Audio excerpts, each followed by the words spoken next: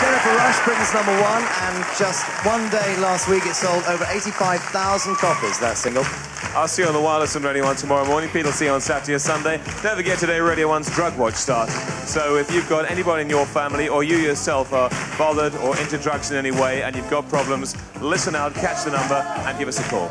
Okay, next week, Top the Pops presented by Dixie Peach and Mike Smith. We play out Madonna's Gambler. Till next week, good night. Bye-bye.